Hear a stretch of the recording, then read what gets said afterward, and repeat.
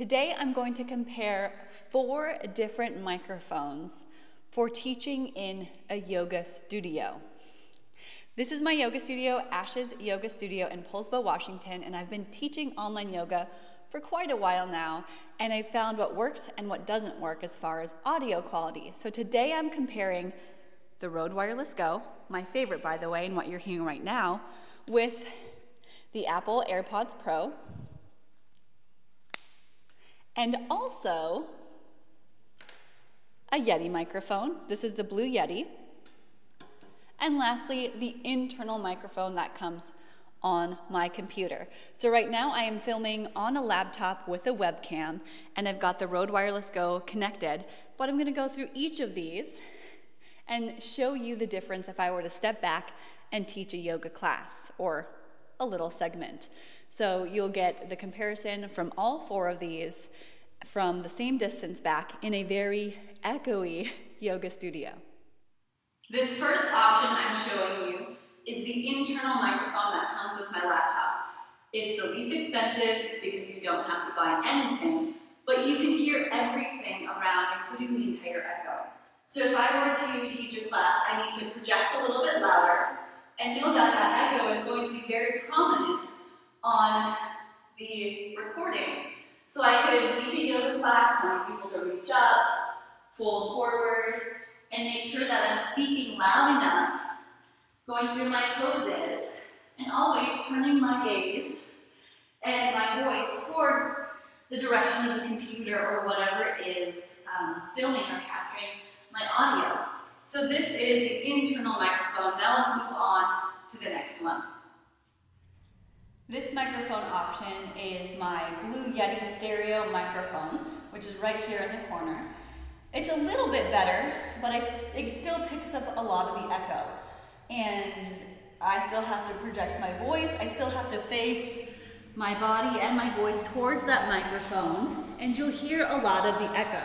So it's not ideal for teaching yoga classes, although it's a little bit better than the internal microphone. This microphone will run you about 100 to $150, and it's great for headshot videos or podcast videos or podcast audio recordings where you're talking directly into the microphone.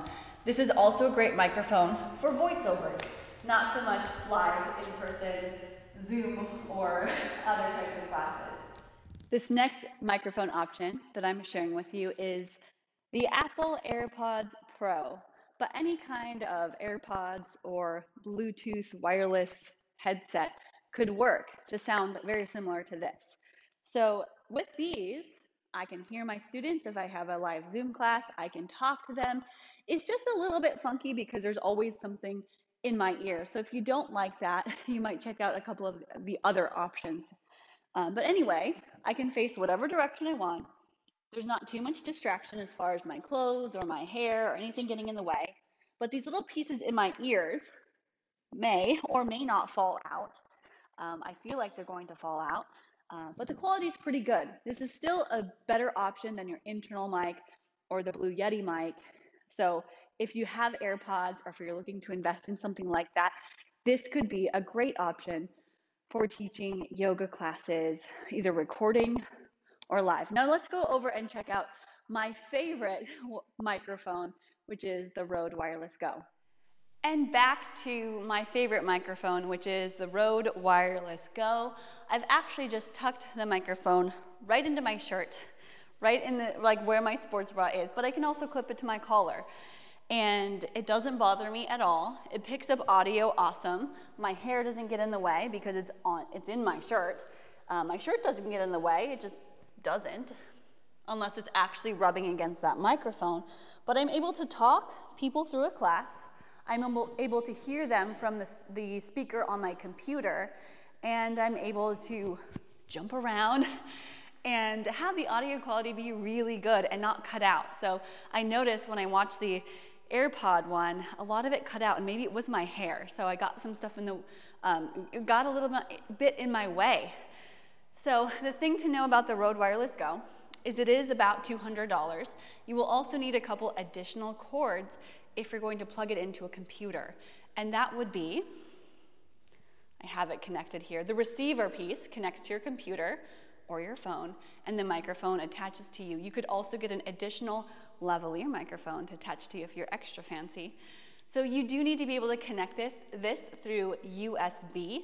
So there's a couple cables that I'm gonna put down below in the description if you're not familiar or if you need a little bit of help with the correct cable. So it's not just the Rode Wireless Go, you would also need two other small cables, which total to then about $225.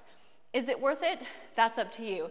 But if you noticed the quality of the microphone from the very beginning of this video to the internal mic, even the Yeti mic, which again, this one's awesome if you're sitting right in front of it, if I was talking right here like this, versus the AirPods, which are a little choppy, um, versus the Rode Wireless Go. So these are the four that I've compared. I hope this video was helpful for you.